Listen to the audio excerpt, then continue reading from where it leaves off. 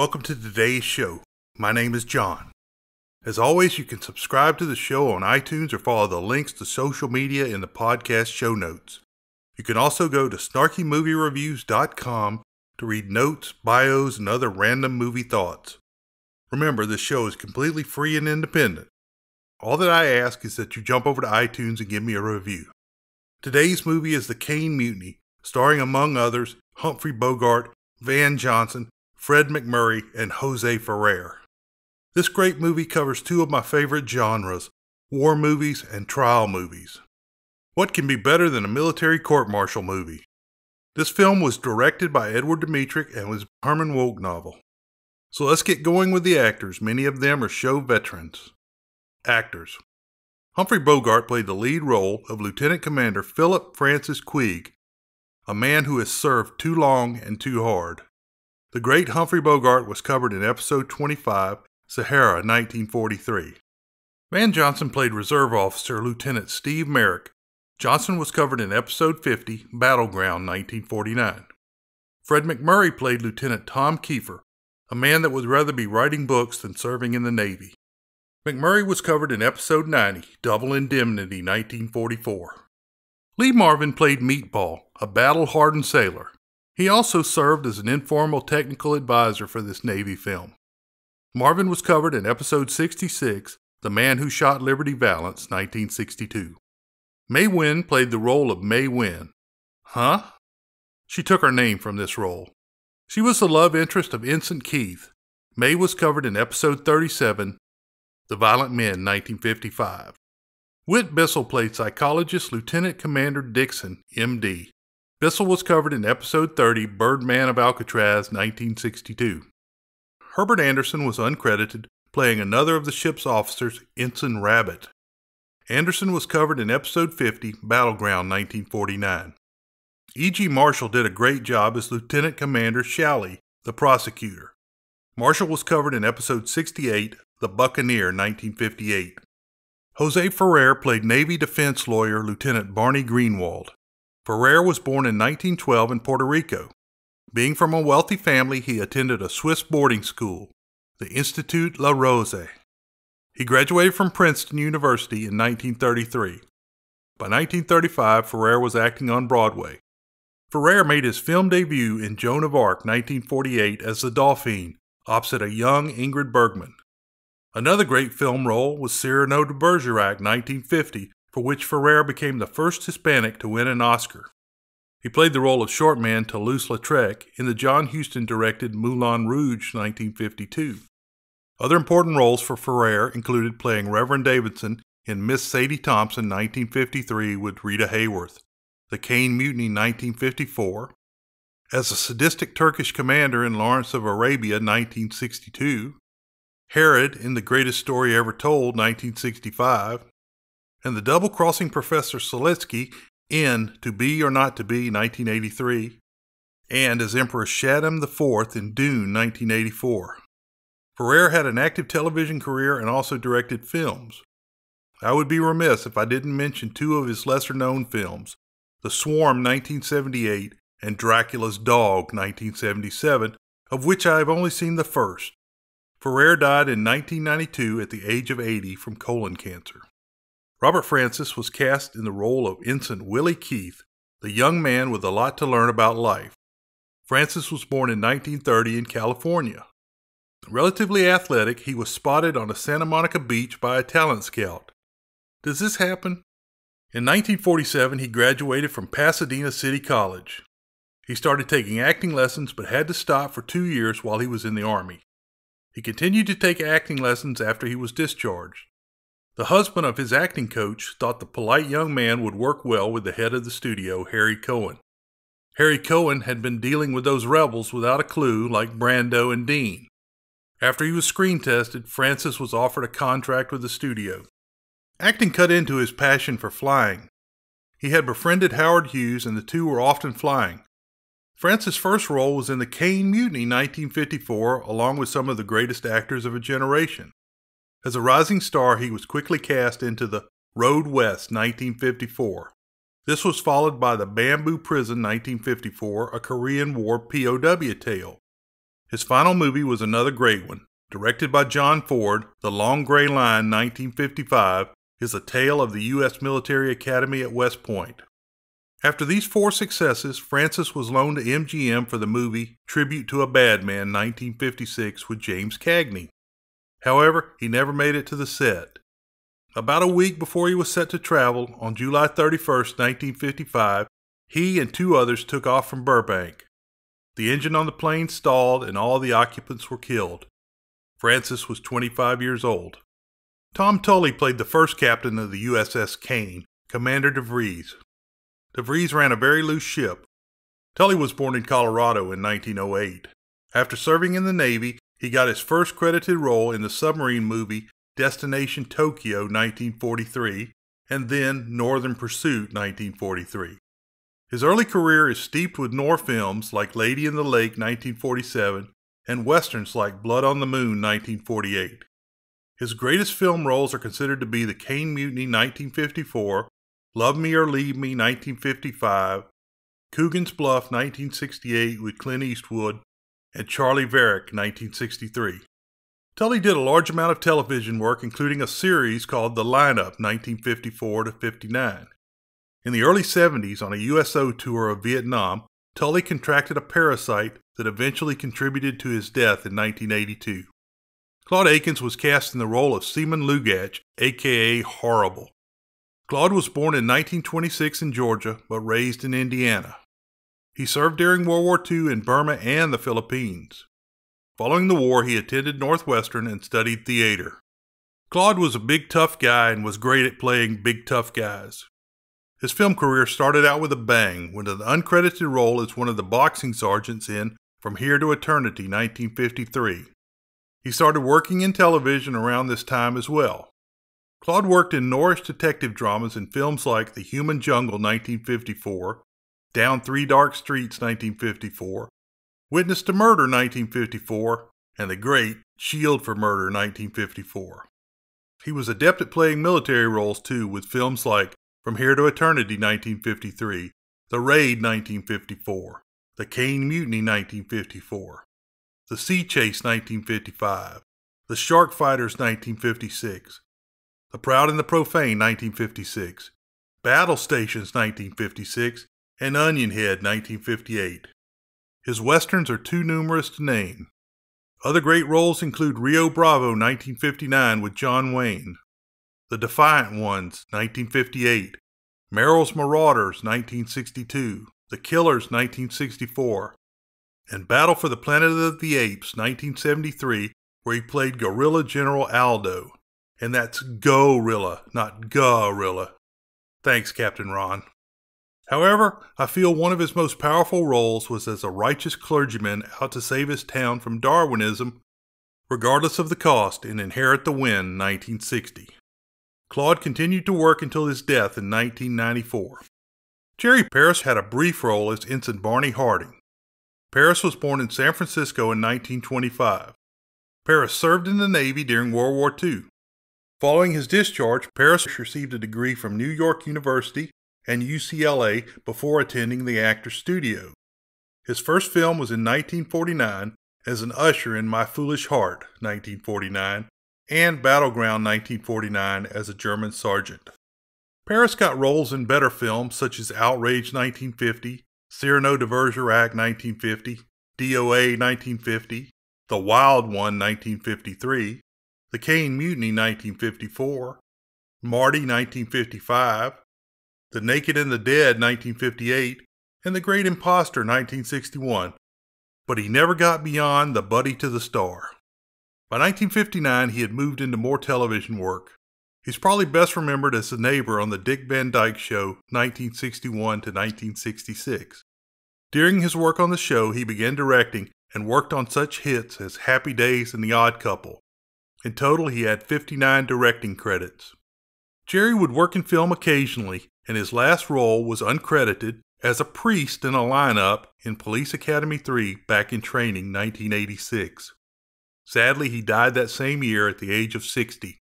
James Best played an uncredited Lieutenant J.G. Jorgensen.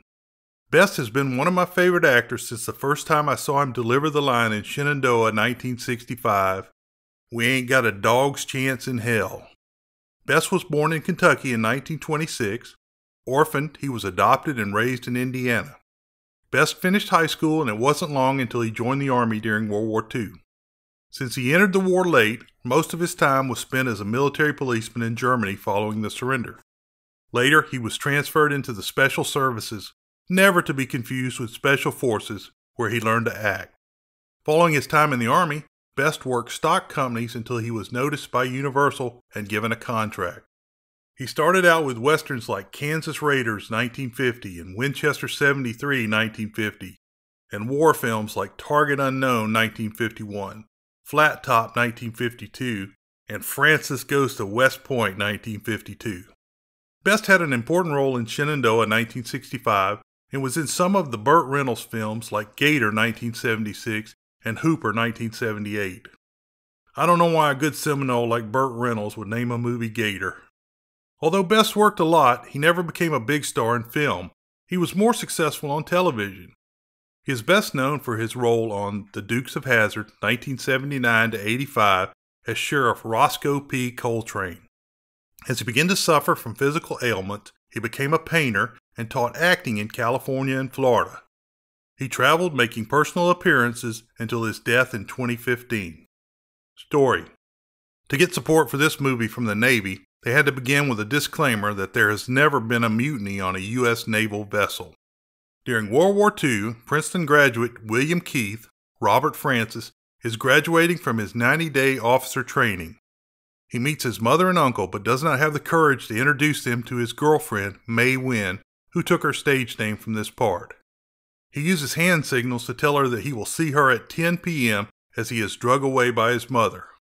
Just for note, Wynn is two years older than Francis, but she appears to be much older than her co star. That night, Willie makes it to the club where May is a singer. If a girl tells you she's a singer, she's a stripper. And if she tells you she's a stripper, she's a hooker. And if she tells you she's a hooker, run away. Anyway, May is upset with Willie's actions. He tells her that he is shipping out. Willie tells her that he loves her and he wants to introduce her to his mother. When Willie asks for sex, May leaves upset. Willie is sent to San Francisco for transport to Pearl Harbor for destroyer duty. His mother sees him to the dock. When he gets to his ship, the USS Caine, he is very disappointed because it is in poor repair from battle wear and the men are sloppy and unkept. Willie meets two of his fellow officers, Lieutenant Keefer Fred MacMurray, a super sarcastic officer that is more interested in writing books than winning the war, and Lieutenant Maryk Van Johnson, who is a straight talking, average intelligent executive officer. Willie is taken to meet Captain DeVries, Tom Tully. The shirtless captain asks Willie if he had expected better than a minesweeper. Willie admits that he did, and the captain says that he just hopes that Willie is good enough for the Caine. Willie meets another officer, Ensign Barney Harding, Jerry Paris and the two are given a tour of the ship by the smirking and wisecracking Keefer. He makes them climb the mast of the ship as the last part of their tour. In the officers' mess, Captain DeVries starts needling Willie. Willie's family has pulled strings, and he has orders to leave the ship and work on the Admiral's staff. Willie yields to peer pressure and refuses the transfer. The Caine heads to sea in the Pacific, and Willie begins learning his job. They drill for the mine sweeping that the ship has never been asked to do. One of the towfish breaks a line and Maryk swims out with a rope to retrieve it. At the same time, Willie gets an action dispatch, but in the excitement he puts it in his pocket and forgets about it. The captain chews out Maryk for the towfish breaking, and Willie doesn't seem to understand the relationship between the two. After that, Willie is trying to get the men to straighten out, and he rides Meatball, Lee Marvin, and Lugach, aka Horrible, Claude Akins. He gets a letter from May and feels good before he is called into the captain's quarters.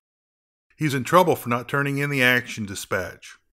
The dispatch says the captain is being relieved and they are getting a new captain, Lieutenant Commander Philip Queeg, Humphrey Bogart. The men give Captain DeVries a going away present. Again, Willie doesn't understand why they like the captain so much. Captain Queeg calls an officers' meeting. He tells him about his duty in the Atlantic and that he plans to run the ship by the book.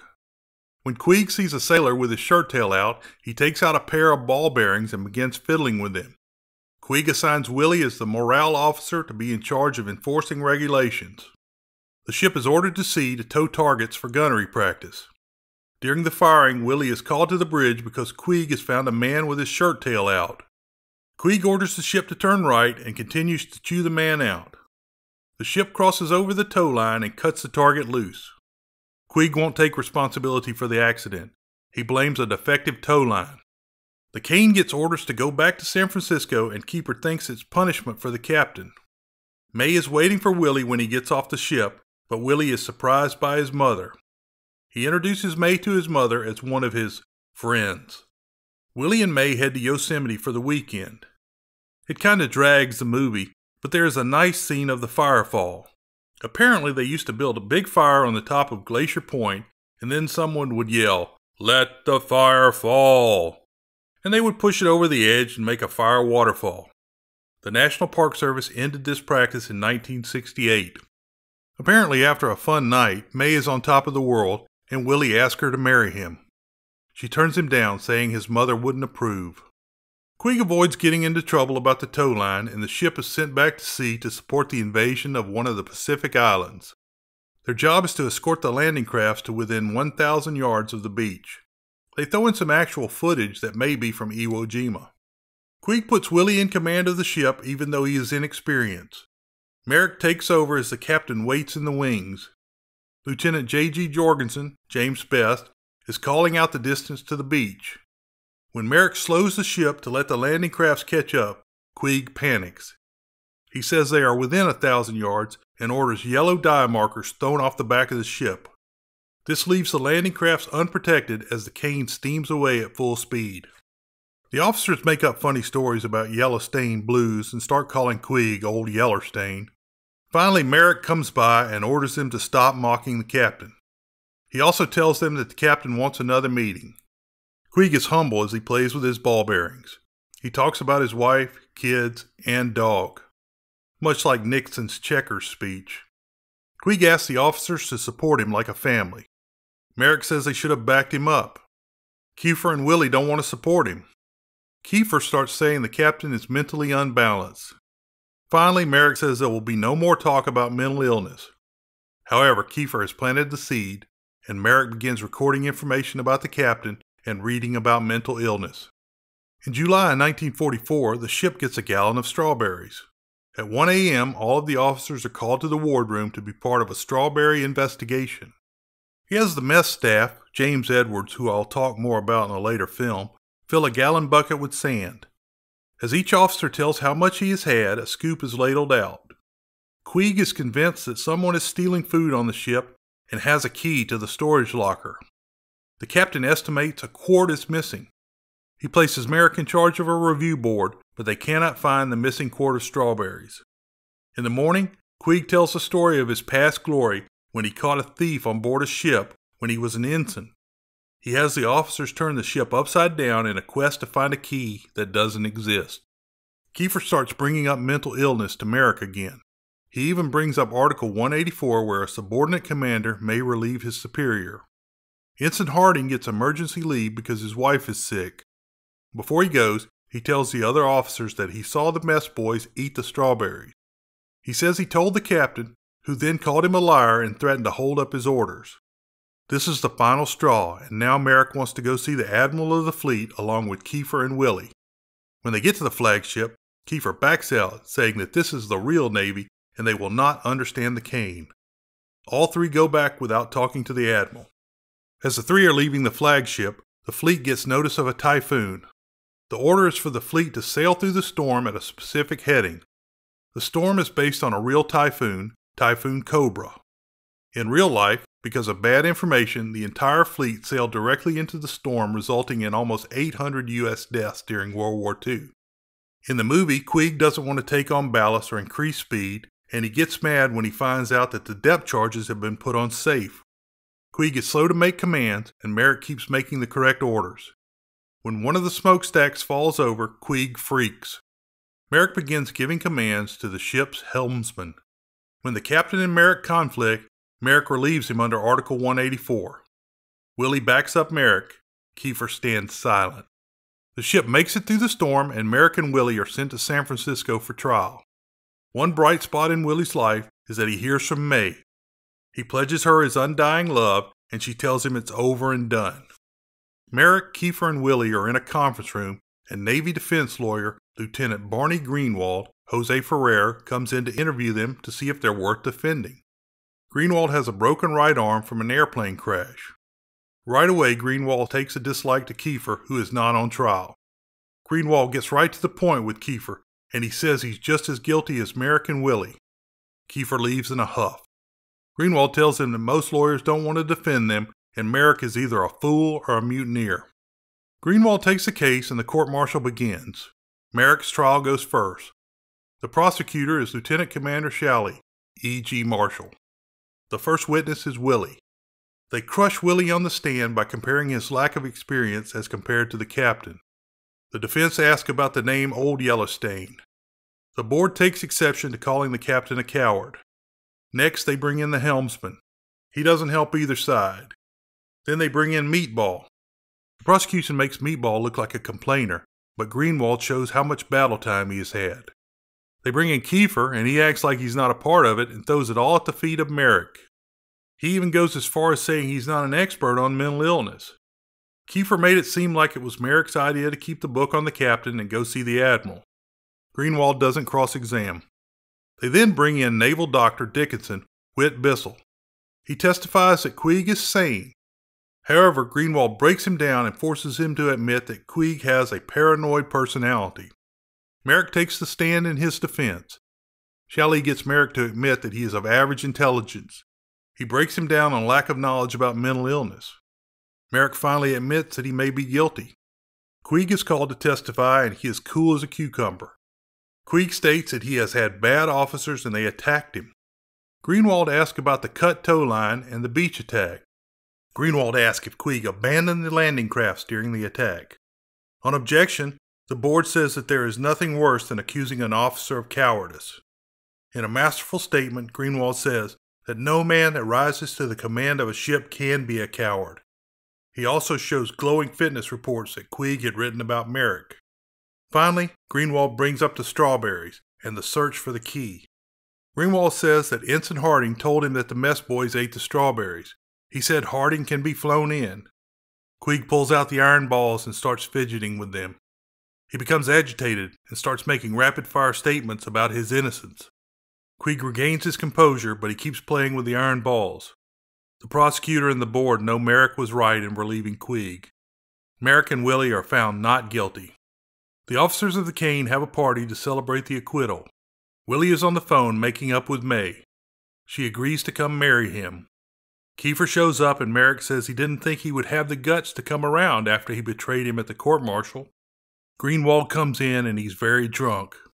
He said he defended Maryk because the wrong man was on trial, and he had to torpedo Queeg to save Maryk, and he feels sick about it. Greenwald blames the officers because when Queeg asked for their help after the Yellowstain incident, they refused to help. Finally, he turns to Keefer and calls him the author of the Caine Mutiny. He lets the other officers know that Keefer betrayed Maryk. Finally, Greenwald splashes a drink in Keefer's face and delivers the great line If you want to do anything about it, I'll be outside. I'm a lot drunker than you are, so it will be a fair fight. The officers leave, and Keefer remains with his wet face. May, Willie, and his mother arrive at the dock where Willie's new ship is waiting. He finally can stand up to his mother and choose his own wife. When the new captain comes by, it is Captain DeVries. Willie goes to the bridge, and the captain orders the now mature Keith to take the ship out.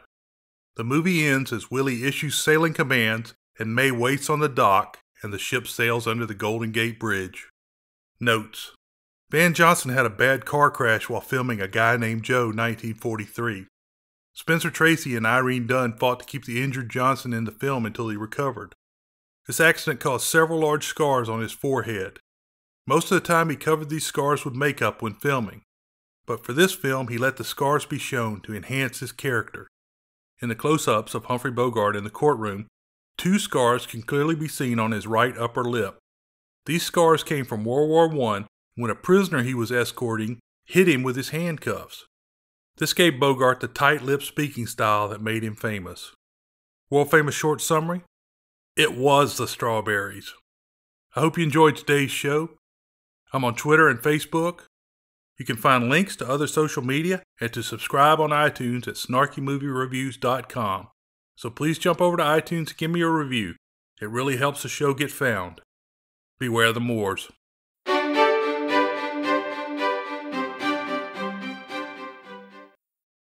Reviews Of all the podcasts in all the towns in all the world, you walked into mine.